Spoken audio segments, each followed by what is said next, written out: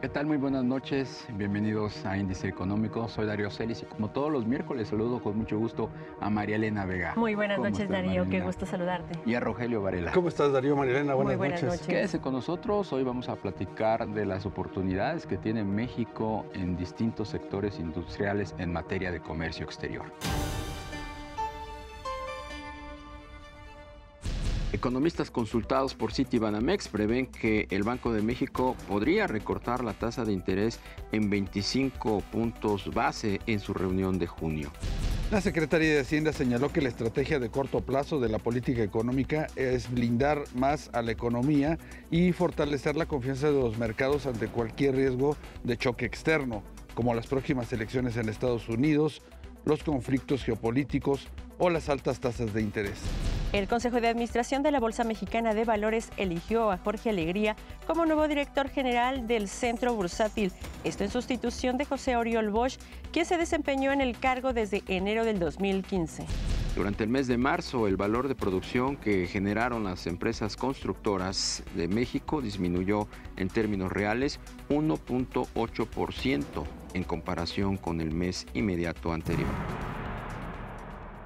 ¿Cuáles son los sectores que están aprovechando mejor nuestro comercio exterior? Vea lo que le preparamos. De acuerdo a las cifras más recientes del INEGI, en marzo el comercio exterior tuvo un superávit comercial de 2.098 millones de dólares. Al desglosar el tercer mes del 2024, el valor de las exportaciones de mercancías alcanzó los 50.752 millones de dólares, cifra compuesta por 48.724 millones de dólares de exportaciones no petroleras y por 2.028 millones de dólares de petroleras. En cuanto a las importaciones, se alcanzó la cifra de 48.654 millones de dólares, donde la compra de bienes de consumo fue de 7.133 millones de dólares y los bienes de uso intermedio alcanzaron un valor de 36.816 millones de dólares. Adicionando los resultados de los tres primeros meses del año, da como resultado un déficit en la balanza comercial por 2.801 millones de dólares. México es atractivo en materia de comercio e industria, no solo por su ubicación geográfica, sino su mano de obra y mucho más. Para platicar qué industrias, qué sectores y, por supuesto, cuál es el detonante de estas eh, pues, industrias que vienen, estas inversiones, nos da muchísimo gusto saludar esta noche a Luis Más. Él es vicepresidente del Instituto Mexicano de Ejecutivos en Comercio Exterior. Muchas gracias, muy buenas noches Luis, qué gusto saludarte. ¿Qué tal? ¿Qué tal? ¿Cómo están? Muchas gracias por la invitación. Gracias. gracias Luis. Oye, México, hoy día, ¿qué industrias son las más atractivas en materia de comercio? Pues actualmente hemos tenido una explosión, un boom importante, sobre todo en la industria automotriz. La industria automotriz es uno de los principales puntales económicos de México, la industria electrónica, electrónica de telecomunicaciones, la industria farmacéutica, de equipamiento médico principalmente, eh, biotecnología agropecuaria también, eh, la parte de la industrialización del agro. Eh, tenemos también algunos otros como servicios, servicios industriales, servicios digitales, sobre todo son los principales los principales sectores en los cuales estamos desarrollándonos. Principalmente podría decirte el automotriz, el electrónico, el químico farmacéutico y en general la manufactura. La manufactura es la que está creando este fenómeno del nearshoring, que hemos hablado, bueno, se ha hablado mucho últimamente, el famoso nearshoring, es la relocalización de los centros productivos principalmente de empresas estadounidenses, a lugares más cercanos. Puede ser dentro del propio Estados Unidos, México como segundo lugar y, más, más atrás Canadá y Centroamérica. Entonces, pero principalmente yo podría decirte que estos son los sectores que más han desarrollado eh, industria en México.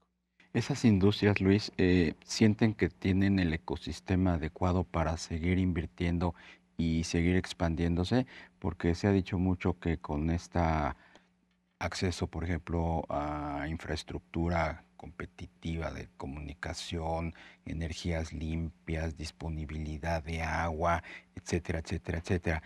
Tú que estás en la primera línea de acercamiento con esos inversionistas, ¿qué sientes? ¿Cuál es la percepción que tienen de, de México? Es un reto, ciertamente lo que acabas de comentar es totalmente cierto. México ha tenido desde hace ya que serán 40 años, desde los 60, 70, cuando empezó el primer programa de maquila fronteriza, Posteriormente, en los 80 con Miguel de la Madrid se creó el famoso PITEX, Programa de Importación Temporal para Producir Artículos de Exportación, que después se derivó años, décadas después en el IMEX, que es el Programa de Industria Maquiladora, Manufactura, Exportación y Servicios, en donde las empresas vienen y tienen ciertos incentivos fiscales. Pero actualmente con la globalización eso ya no es suficiente y precisamente esos son los principales retos que tiene, yo diría los tres sectores, el sector gobierno, el sector industria, los industriales, los empresarios y los sectores, el sector logístico, los proveedores de servicios logísticos. Lo primero es la infraestructura, básicamente la infraestructura industrial y la infraestructura logística. La infraestructura industrial, lo que comentas, suministro de agua, que por cierto tenemos ahí un reto con la famosa crisis hídrica que estamos por tener, el calentamiento global y, y las olas de calor que tenemos el acceso a la industria eléctrica, que imagínate una empresa que trabaja 7 por 24 en industria automotriz, una industria químico-farmacéutica que tiene este, cámaras frigoríficas que se le vaya la luz, tienen plantas, o se le vaya la energía eléctrica, tienen plantas pero con cierta capacidad, entonces es un reto el, abastecimiento de energía eléctrica, también el, el abastecimiento de un sistema de, desperdicio de aguas residuales, etcétera, que pueda eh, tenerlo. Y en general, infraestructura logística, caminos, puertos, aeropuertos, carreteras, aduanas. Ese es un, reto importante. Pero ese yo creo que es de los más importantes junto con el tema de la seguridad. Un tema que se ha hablado mucho en, a nivel nacional e internacional es la seguridad. La seguridad física, los robos en carreteras, la inseguridad que se tiene en las rutas logísticas, en aduanas, etcétera, y la certeza jurídica que, las leyes, reglamentos favorezcan a esas inversiones que vienen a México. Ese es uno de los principales retos que tenemos. Y otro tema importante, también lo acabas de comentar, la sostenibilidad. Muchas empresas internacionales, muchas empresas globales están buscando países que estén enfocados a la sostenibilidad, al famoso ESG, que es Environmental, Society and Governance. El ESG es tener eh, energías limpias, energías renovables, un compromiso certero con la sociedad y ética y cumplimiento con las normatividades vigentes. Entonces, ahí es donde tenemos que trabajar mucho como país en los tres ámbitos, en el ámbito gubernamental, en el ámbito empresarial, industrial y en el ámbito logístico. Claro. Luis, ahora que te referías a los sectores, eh, se habla mucho de la posibilidad de que México pueda traer manufactura de semiconductores. Eh, ¿Cómo ves e, esta propuesta que viene desde Estados Unidos y que también pues, adopta México como plan de negocio? Eh, sí, es a largo plazo. Definitivamente México tiene la capacidad, tiene la mano de obra. Eh, comentaba Marilena que la mano de obra mexicana es muy apreciada en el mundo, es muy productiva, muy eficiente. Obviamente se requieren eh, infraestructura, hay que crear desde cero. Desde que vino la crisis de los semiconductores, que viene desde antes de la pandemia, la crisis de los semiconductores ya venía por el 17, 18 más o menos, donde había una escasez de semiconductores más bien, la demanda superó a la capacidad de producción de China y de Singapur principalmente, ¿no? China, Singapur y Taiwán, que eran los principales productores. Entonces traían un backorder impresionante que, por cierto, derivó en otra crisis que fue la de los contenedores marítimos. Como tenían backordes importantes, las empresas chinas reservaban espacios en los contenedores y los mantenían en China, en puertos chinos. Entonces eso empezó a crear una escasez de contenedores. Ahí Estados Unidos, Alemania y Francia concretamente empezaron a pensar en, bueno, ¿por qué tengo mi fábrica de semiconductores en China? Hicimos de China la fábrica de semiconductores del mundo, bueno, Asia en general. Y, Francia, España, no, perdón, Francia, Alemania y Estados Unidos ya están desarrollando industria de semiconductores. Es una industria muy compleja, no es tan, no es tan sencilla por la, la alta sensibilidad que tiene la producción de semiconductores. Se han visto las, las, eh, grabaciones de cómo se fabrican y la gente está totalmente forrada como si fuera un elemento biológico porque que estar totalmente estéril. Entonces, se requiere de una infraestructura. Yo no dudo que se pueda hacer, pero yo lo pensaría en un mediano largo plazo, la parte de los semiconductores. Actualmente estamos eh, siendo, pues sí, de hecho así se llama el IMEX, maquiladores de productos terminados. Entonces, yo eso lo pondría como en una segunda fase para poder traer, atraer ese tipo de inversiones en México. Luis, hace un momento comentabas que todavía nos hace los retos que, que, requiere México. Sin embargo, el Bajío se ha ido desarrollando fuertemente, atractivamente, pese a la falta de infraestructura que se tiene todavía, pese a muchas eh, necesidades que busca la industria o el sector empresarial. Eh, ¿A qué se debe? ¿Esta crees que se siga desarrollando? ¿Por qué el sureste? ¿Cómo ves el sureste? La franja norte pues es a lo mejor muy natural por la cercanía, ya el desarrollo que tiene, ¿no? Frente a Estados Unidos. Sí, de hecho, la Franja Norte fue la primera que se desarrolló desde Tijuana hasta Matamoros. De hecho, toda la gente del norte habla de las maquiladoras, ¿no? casi todos trabajan en maquiladoras, que son inclusive empresas que están del lado americano y tienen una fábrica del lado mexicano y luego que estén estar, eh, cruzando. Por eso tenemos la franja fronteriza de 20 kilómetros. Entonces, eh, esa, es la parte natural. La parte centro del Bajío, concretamente Querétaro, Guanajuato, Aguascalientes, San Luis Potosí, Hidalgo, de algún modo se han desarrollado en los últimos 20 años como grandes centros productivos. Comentábamos, eh, Querétaro tuvo un, detonante muy importante cuando Bombardier, una empresa canadiense, puso una planta de, equipos aeronáuticos cerca del aeropuerto de Querétaro y de ahí empezaron a detonarse todas las empresas satélite que le abastecen a Querétaro. Aguascalientes pues tiene Nissan, tiene algunas otras empresas eh, importantes ahí, San Luis Potosí se está desarrollando, la parte este de Jalisco también, ahí tenemos el salto que le han dicho el Silicon Valley mexicano, y hay muchas empresas, Hewlett Packard, IBM. Entonces, esa, esa zona se ha desarrollado los últimos 20 años y se sigue desarrollando con esos retos de infraestructura que tenemos que, insisto, tiene que eh, trabajarse desde los tres puntos de vista, ¿no? Desde el gobierno, los industriales y los proveedores de servicios logísticos. Y el sureste, pues el sureste es el gran reto del país, ¿no? la zona más rezagada económicamente, socialmente, y pues viene, tiene un reto interesante. Actualmente, y bueno, y esto ya viene de otros, de otros sexenios, el corredor transísmico que corre o que va a, correr de Salina Cruz a Coatzacoalcos y que pretende de algún modo hacerle competencia al canal de Panamá o ser una alternativa al canal de Panamá por las condiciones que tiene de sequía.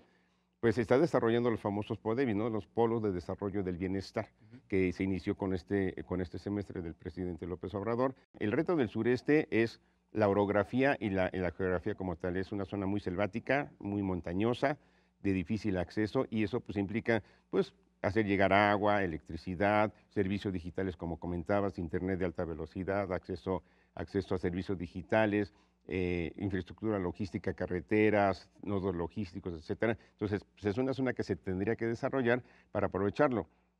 Yo creo que, que un, un, reto interesante que tiene, bueno, esa zona tiene a Veracruz, tiene a Salina, Veracruz y Coatzacoalcos del lado del, Golfo que desemboca al Atlántico. En el Pacífico tiene principalmente Salina Cruz, eh, un poquito más lejano a Lázaro Cárdenas. Entonces tiene el potencial para desarrollarse, pero sí se necesita una inversión más certera y, que haya el suficiente atractivo para que empresas extranjeras lo vean como una posibilidad y que no volteen a ver inmediatamente al norte o al Bajío, ¿no? que realmente vean que el sureste tiene las capacidades y las capacidad, las capacidades y las, y las cualidades para poder ser realmente un, un ente productivo, ¿no? que, que, les genere utilidades, que les presente rentabilidad.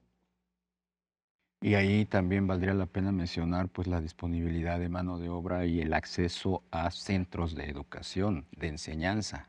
Que ese es otro como parte también de, un, de ese ecosistema, ¿no? Exactamente, y de hecho ese es otro de los retos, la capacitación, eh, el talento, el desarrollo de talento en México, y ahí sí no nada más es el sureste, es todo el país, en desarrollo de servicios digitales, eh, desarrolladores digitales, innovación, negocios internacionales, la capacidad de, generar esa, esa, interrelación económica con otros países, eh, tener tecnología de vanguardia. O sea, necesitamos también mucha capacitación y desarrollo de talento para poder atraer a, a las empresas extranjeras y que pongan sus centros productivos, sus fábricas en México para exportar principalmente a Estados Unidos. Muchísimas gracias, Luis, por estar esta noche aquí con nosotros. Al contrario, gracias a ustedes. Buenas noches. Pues ahí están las oportunidades que tiene México. Siempre hemos dicho que más allá del norte, por la cercanía con Estados Unidos, pues hay que desarrollar el sur-sureste, pero hay que meterle mucho dinero. No solamente es construir estos centros de desarrollo para el bienestar, sino crear todo un ecosistema que implique mano de obra, academia, seguridad, seguridad, infraestructura. Así es, por lo pronto el Bajío, todo lo que es la zona del Bajío se está desarrollando, está creciendo, hay muchas alternativas de industria y esto permea para, para todos los ciudadanos empleo, mejor salario, o sea, es un desarrollo, ¿no? Sí, ahora lo importante, como dice Darío, es que ese desarrollo se pueda llevar al sur del país que sería pues, un gran beneficio para una población que por muchos años ha estado pues, alejada de, la, de la apertura económica. Esa va a ser sin, sin duda una de las asignaturas para quien llega a la presidencia. Muchísimas gracias. Gracias, Darío. Buenas noches. Darío, Rogelio. Rogelio Varela, buenas noches, gracias por acompañarnos. Lo esperamos el próximo miércoles, Índice Económico por ADN 40.